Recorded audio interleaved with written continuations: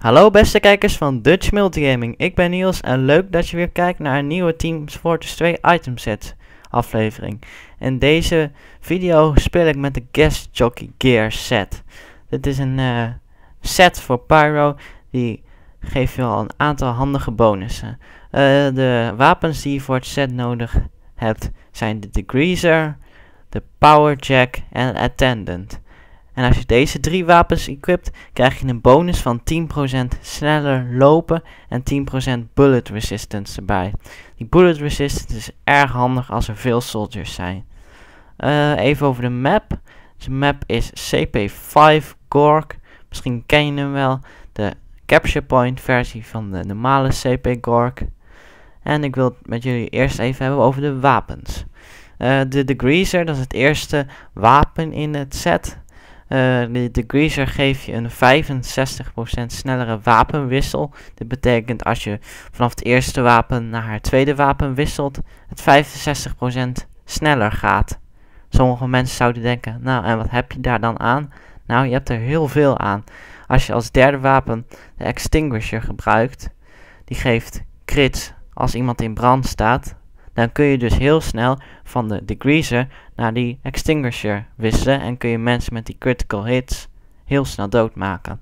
Dat is ook de reden waarom veel mensen de degreaser samen met extinguisher gebruiken.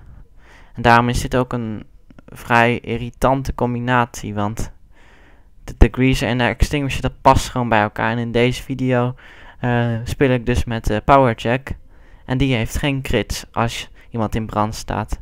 Maar de powerjack heeft wel een heel ander fijn voordeel. En dat is dat je 75 levens erbij krijgt als je iemand ermee doodt.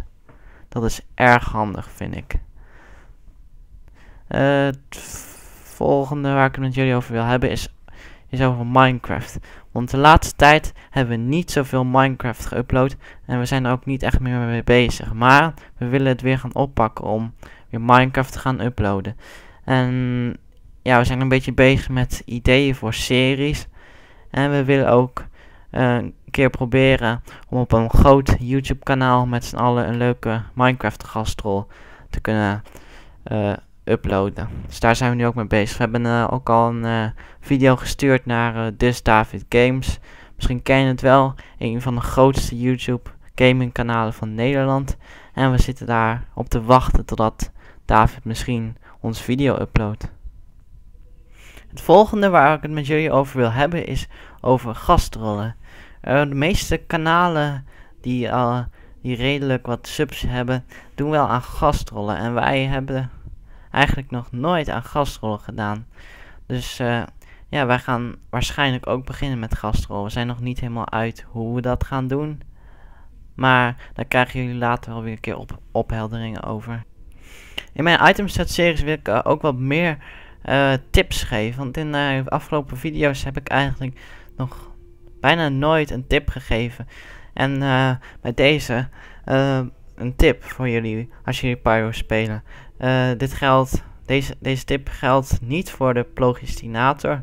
Dus als je de plogistinator gebruikt bij Pyro, dan werkt het niet. Maar Sommigen van jullie weten het misschien niet, maar als je bij Pyro op de rechter muisknop drukt, als, je, als hij zijn flamethrower in zijn hand heeft, of zijn degreaser, of zijn backburner, dan, dan kan hij airblast. Een airblast betekent dat je, een, dat je vanaf, vanuit je uh, flamethrower een soort van lucht blaast. En dat kan rockets en bommetjes en pijlen wegblazen. Dus als er dan een rocket op je afkomt, kan je hem gewoon terugblazen naar de soldier. Uh, nou, uh, we zijn nu al ongeveer tot het einde van de video gekomen. Bedankt voor het kijken en uh, als je het leuk vindt, like. Als je het heel erg leuk vindt, favorite. En als je nog het nog niet gedaan hebt, abonneer op Dutch Multigaming. Bedankt voor het kijken en tot de volgende keer bij deel 4 van Item Sets.